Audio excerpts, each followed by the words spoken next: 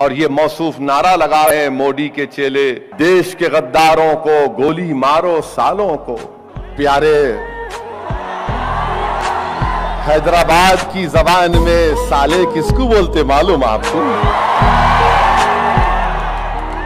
मत बोलो, महँगा पड़ेगा।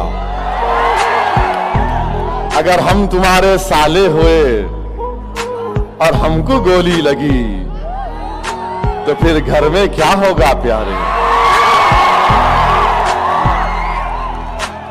देश के गद्दारों को गोली मारो सालों को।